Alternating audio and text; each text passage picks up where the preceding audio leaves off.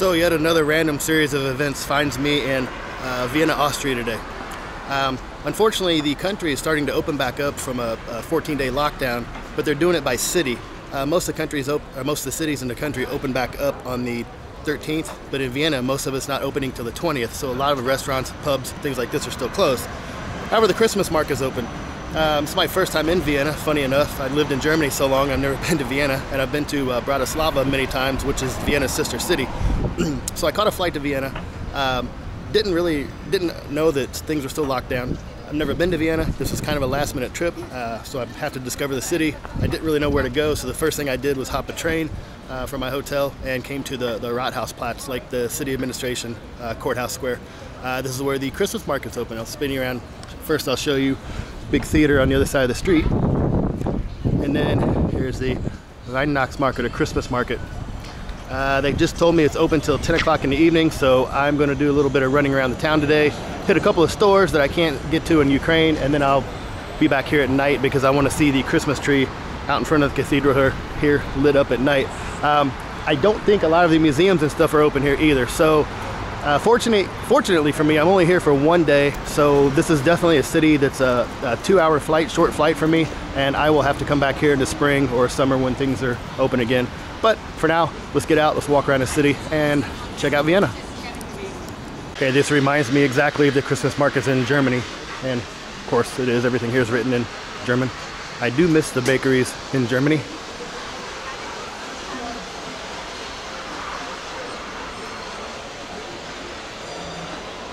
Mohnkuchen. Haven't seen that for a while.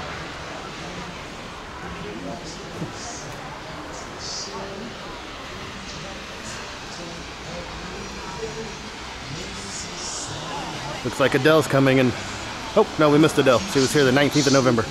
Not sure why the sign is still up. If you ever visit a Christmas market either in Germany or Austria, you have to try the Glühwein which is the uh, hot spiced wine. I'm sorry, I think they are cleaning behind this uh, drop here. I hear like power washers, so it's kind of loud. Hopefully you can hear me. Um, but you have to try the Glühwein. Uh, they have the regular Glühwein. Uh, they have the, uh, uh, oh, here they are here in front of me. apple, berry, what else do we have here?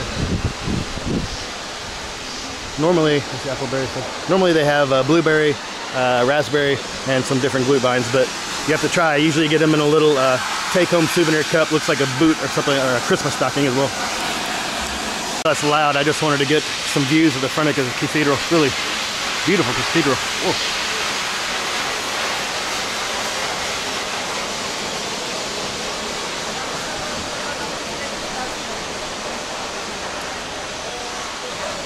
Uh, looks like it's closed maybe for repairs or something unfortunately any, any of you that follow me know that I love going in the uh, churches and cathedrals wherever I go. And if memory serves me correctly, I'm sure that um, um, Austria is predominantly Catholic.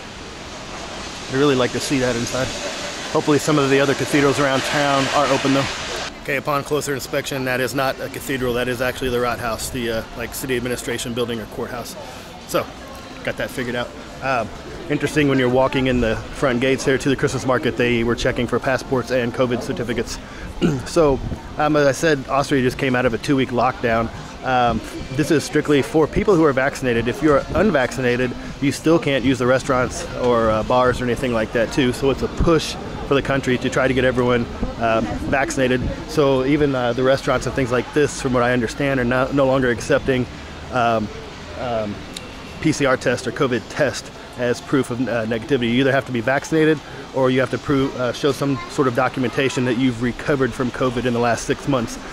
also, interestingly enough, um, you know, each country does their own thing as far as uh, COVID regulations. So the country of Austria only recognizes your um, shot, your uh, vaccine, up to 270 days after your second shot, or in the case of Johnson Johnson, 270 days um, after receiving the single shot.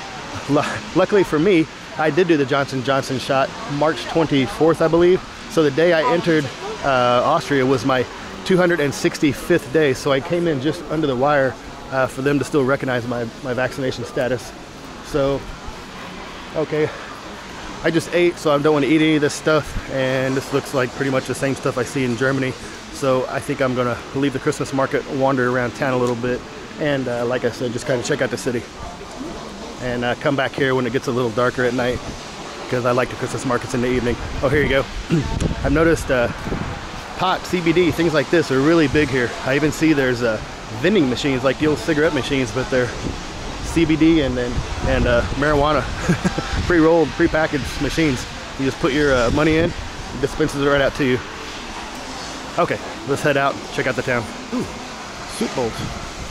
Right from the Christmas market here is the University of Vienna, Universität Wien. Funny enough, there is a coronavirus testing station right outside the university at one end of the steps. And at the other end of the steps is the University of Vienna shop. So you can get your sweatshirts, t-shirts, your billets, uh, billets, uh, wallets, billfolds, anything you want with the uh, university logo on it. Get this huge building here. It's named Victoria. Uh, Victoria Versicherung.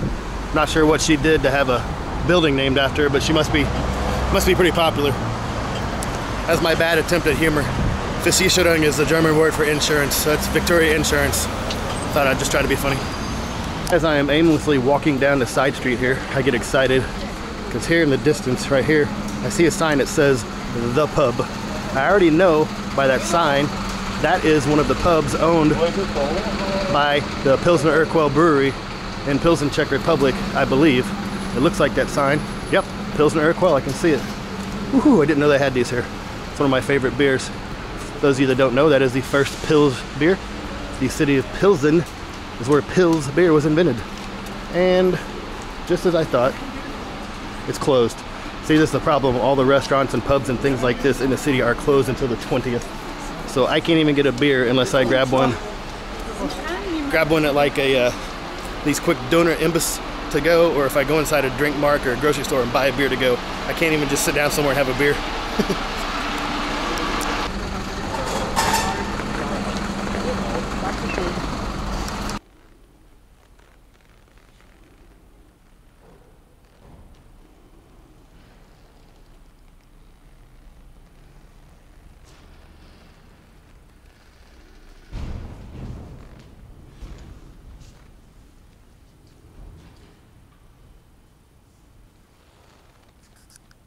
As I continue to aimlessly wander the streets, I walk into another little Christmas market here. Uh, so this is the Altwiener Christmas market. So that's the Old Vienna Christmas market. Um, cool thing I just found, the little, they've got two little booths set up here by the entrance. You go in, you show them your passport, COVID certificate, and you get one of these little uh, bands here for the Christmas markets. And uh, they actually work for any of the Christmas markets in the city. I didn't know that. So when I go back to the main Christmas market later, I don't have to re-show my uh, certificate everything. I just show them the band. So if you're going to visit during the holiday season and Christmas markets are open, be sure to grab one of these bands. They're free to get. I guess you can get them at any Christmas market. Look for these little signs here. This 2G, they operate off some weird system here called 2G and 3G. 2G, I know it stands for fully vaccinated. So here you can, uh, here's uh, the, the Christmas market, the, the Wiener, the uh, Vienna Christmas market band. Uh, so they're, they're encouraging you to go get the band. That way you don't have to keep uh, continually showing your uh, certificate. So if you are 2G, that means you're fully vaccinated and or have proof of recovery. They have the uh, Old Vienna uh, Christmas punch. They have an English uh, punch, which is a, uh, lemon, English lemon punch. They have the Swedish punch, which is a, a a Finnish they call it glöggi, which is their version of the Christmas punch. Uh, liquor, so egg liquor punch. Christkindl, I think this is oh, AF alcohol free for kids. So to check one. Okay, so it's actually not bad weather out here. I'll take this hat off. So I opted for the Christmas punch.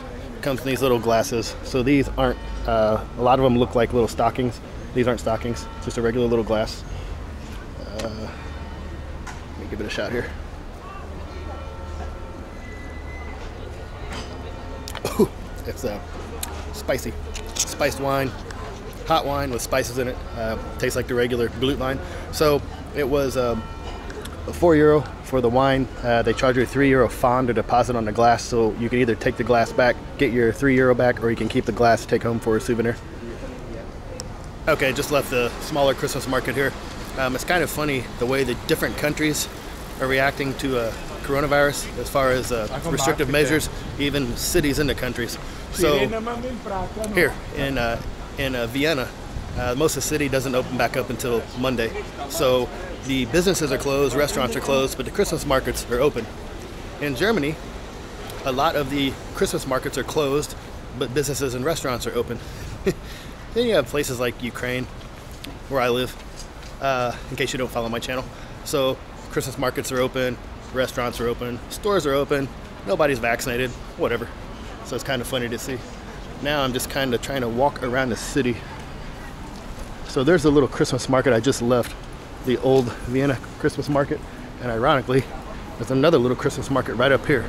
So I'm pretty much just aimlessly walking the city today because since most of the museums and restaurants and everything are closed, there's no point of me trying to, you know, really put out a schedule of what I want to see since I, I don't want, oh, that's pretty cool.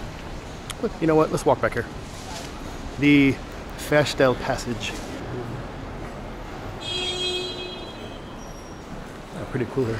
There's a coffee shop, people are see even a little coffee shops are just to go. You're not allowed to sit inside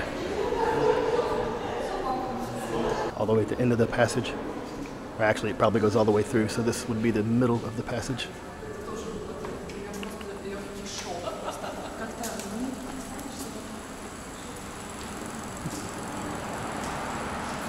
Here's the Weihnachtsmarkt am Hof, but unfortunately it's killing my panoramic view of the buildings behind it.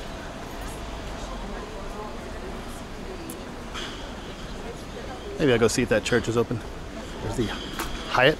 Okay, of course the church is locked. This is the uh, Kirche am Hof, the church am Hof. It looks like it was uh, first erected 1386 to 1403 is when they were started building it. Oh, coronavirus, you're driving me crazy. Can I check this door? Maybe it's open.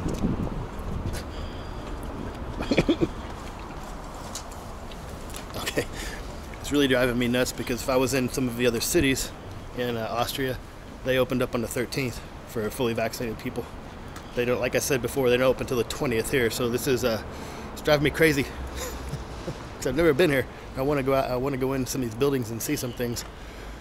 So I guess uh, the walk continues. Of course, the uh, St. Laurent and Prada stores are open. None of the historical buildings, museums, or anything like that are open. None of the normal department stores are open, but the high-end ones are open. Imagine that. This is actually a pretty popular store I've seen in some of the countries I've traveled. It's called Louis Vuitton, and uh, it's really popular. So popular, there's a line outside to get in. I guess because of coronavirus, they also have a restriction on the count or number of people allowed inside. Rolex, of course, it's open. Burberry, Giorgio Armani, Cartier, Fendi, Gucci. Imagine that, they're all open. So I see this uh, cathedral here. It looks like the doors are open, so hopefully I can go in.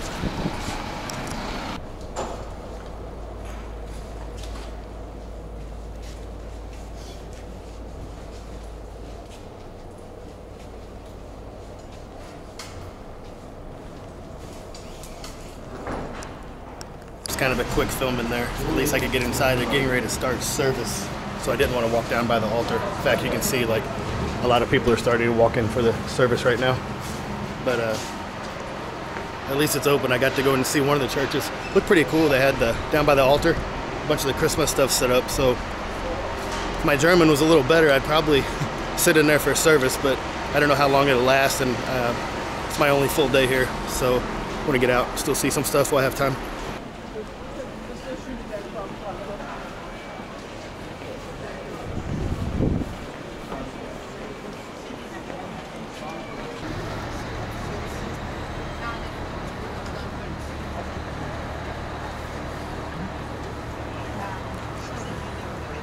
Pretty impressive. Hopefully that's open as well. Okay, so the cathedral behind me is open. This is the St. Stephen's Cathedral. It is a Catholic cathedral. Uh, construction began on it in 1137. It was consecrated as the first Roman, Roman church of, I say Saint? What did I just say? St. Peter's, Saint, whatever I just said, sorry. Uh, it was consecrated as this church in 1147. I don't have an FFP2 or 2P mask. I only have my regular cloth mask. They want that special mask to get in, so I may get turned around real quick. If so, I think I could probably buy one of those masks at like a drugstore. But if not, I'm going to try to go with my regular cloth mask. So let's go. Uh, let's go check it out.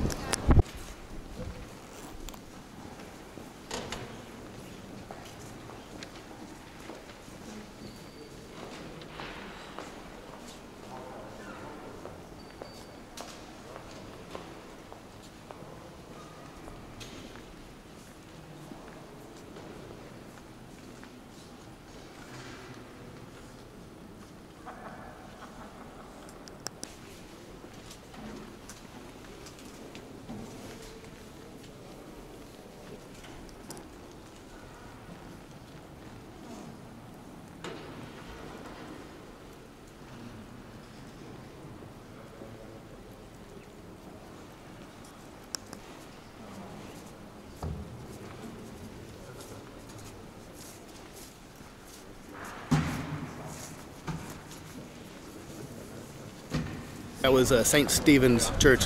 Sorry for screwing that name up earlier. Um, general admittance to get admitted. General admittance, admittance. It's free to get in to where I just was. Um, you can take like guided tours of the different towers, or there's an all-inclusive ticket that takes you to both towers and then somewhere else. Um, I went down the left side. I was starting to go down to the back of the church, and there was a security guard down there, not messing with people, but he was trying to get people to fill out these surveys. so I steered away from that. So turn around and look at this on the outside. or A lot of this uh, lattice work, I forget what they call this stuff, the like the the Baroque period. A lot of this reminds me of the uh, cathedrals like well Notre Dame, and then especially some of this is the, the cathedrals in Prague. Is what it reminds me of.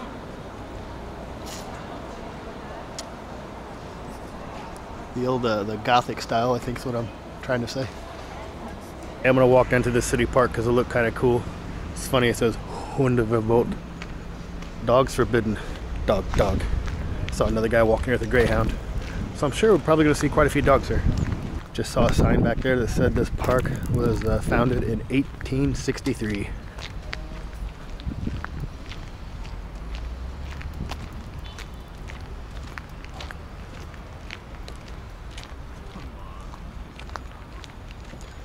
Our garden, unsere Garten.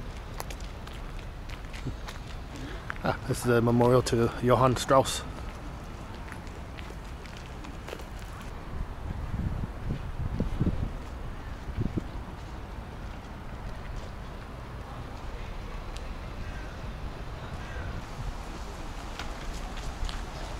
Kind of cool uh, architecture here.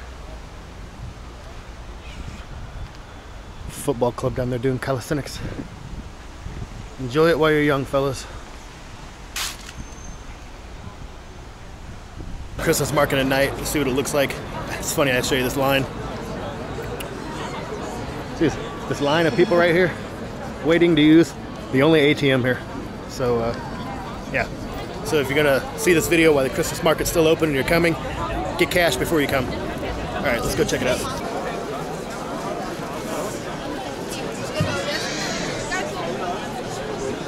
Because there's something next door, uh, see a Ferris wheel, but here's an entrance where you have to get in, so it's something different from the Christmas market.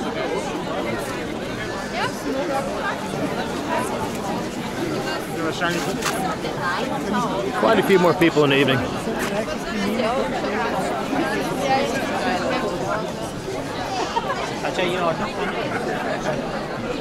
This is the uh, Austrian version of a German pretzel, I guess. Those are huge. Ooh, Nutella pretzel. Kind of cool. It's a, it's a uh, stand with this. Walk right in front of me, standardly. it's a fa- uh, stand with chocolate fountains. You get different flavored chocolates, and then the little cups with uh, fruit and a little piece of candy in them, and then they run chocolate into them. Yeah, I got another Glühwein. Comes in a little heart cup, heart mug. So, see how this one is. Not as spicy as the stuff earlier, so good. The stuff earlier was a little maybe too spicy. Spin around here. Donuts. No, they're not donuts. Oh, they're it's all handmade candy.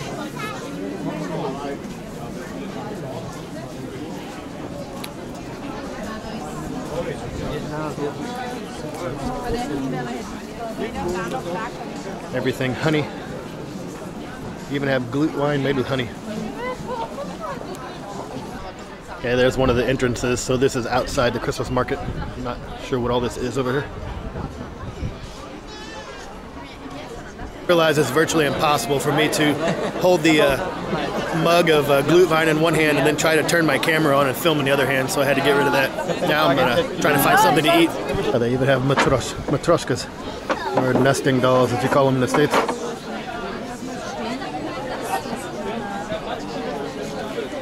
Everything made by wood. Something I'd never seen before. Cono pizza. These are pizzas they put inside cones. See the little cones right there? And they put all the different uh, ingredients inside. I have never seen that. My pizza roll, this is what it looks like. but it's hot right now and I'm not gonna scald my mouth. So uh, thought I'd show you guys what it looks like and I'll let you know how it is after I'm finished walk back down to the smaller Christmas market that I was at earlier today in the Old Town, and I'm getting ready to partake in one of my favorite Christmas traditions, beer. So I guess I found it's a Stiegl, Salzburg. So I guess this is a uh, uh, Austrian beer out of Salzburg, Stiegl, Goldbräu, so golden golden brew. So let's check it out.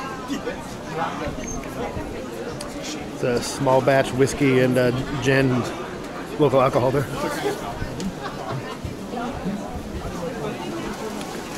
Oh, this is like a butcher, a Metzgerei. And cheese. This food smells pretty good. I'm looking at what everybody's eating. He's eating a goulash out of a bread bowl.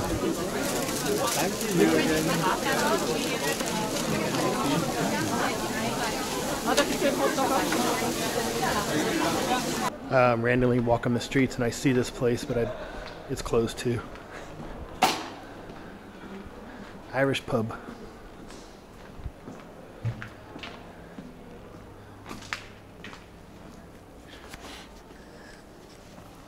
Okay, what you're about to see is a grown man lay down in the middle of the street here, and start kicking and screaming like a baby.